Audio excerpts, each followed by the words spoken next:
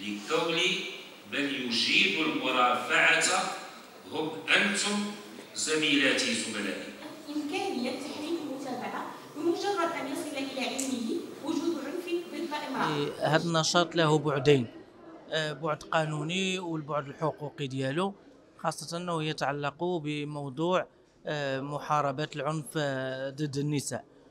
هو قانون حديث الغاية من هذا النشاط هو تسليط الضوء على مقتضيات هذا القانون من جهة ثم الدفع إلى تفعيله وتنزيله على أرض الواقع لأن الغاية من إخراج القوانين إلى حيز الوجود هو النفاذ ديالها داخل المجتمع حتى يكون لها ذلك الأثر المنشود والمرجو من سنها وتشريعها. ثم مسألة أخرى آه، هي فرصة للمحامون الشباب الاحتكاك بهذا النوع الجديد من القوانين وكذلك آه، صقل مهارات المرافعة خاصة في مثل هذه القضايا وهذه الملفات. بالنسبة يعني النصيحة هو الانفتاح على الاتفاقيات الدولية أيضا آه، المناهضة للعنف ضد المرأة. والانفتاح على قوانين أخرى ذات صلة آه، بالموضوع حتى تكون مرافعة شمولية. وغير منحصرة في زاوية معينة. اليوم كاينة آه، المسابقة الوطنية الأولى للترافع حول القانون 113 هذا القانون هذا آه، لمناهضه ومحاربة العنف ضد النساء.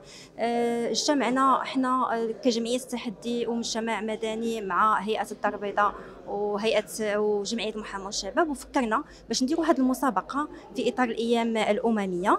باش نخرجوا هاد هاد القانون ديال العنف ضد النساء نخرجوه لوجود نعرفوا به الناس آه، ونعرفوا به المحامون المتمرنون باش يديروا فيه مرافعة اللي نبسطوا جميع الآليات وجميع المعيقات ديال هذا القانون.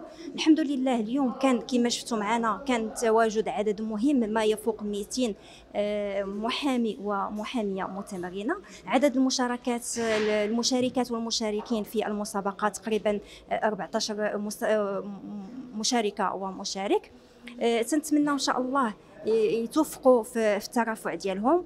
وهاد هاد النقطة ديال الترافع هي أصلا من المبادئ الأساسية ديال مهنة المحاماة لأن المحامي هو اللي تيترافع المحامي هو اللي تيخرج للوجود المشاريع وتيسن المشاريع وتيخرجها تنزلها على أرض الوجود. التفعيل ديال هذا القانون اولا آه، مازال بزاف ديال آه، فئات المجتمع ما تعرفوش هذا القانون كاين خاصة الفئات النسوية اللي هي اللي تتعرض بالدرجة الأولى للعنف تتعرض المرأة للعنف آه، مرة وجوج وثلاثة ولكن ما تتعرفش فين تمشي. ما تتعرفش بأن كاينين خلايا اللي ممكن نستقبلوها على مستوى الشرطة الضابطة القضائية أو الدرك الملكي أو المحاكم الابتدائية أو محاكم الاستئناف هاد هاد هاد هاد المكونات كاملين فيهم خلايا اللي ممكن يستقبلوا النساء المعنفات يستمعوا لهم يرشدوهم يبينوا لهم المسطرة. كما يجب اللي تتبدا بالشكاية تتوجه لدى السيد وكيل الملك وتتاخذ المسار ديالها حتى هذاك المعنف المتهم تياخذ الجزاء ديالو والضحية تتاخذ الحق ديالها. بغينا نوصلوا بأنه ما نبقاوش ساكتين على العنف اللي تتعرض عليه المرأة لأن كاين قانون يحميها من العنف.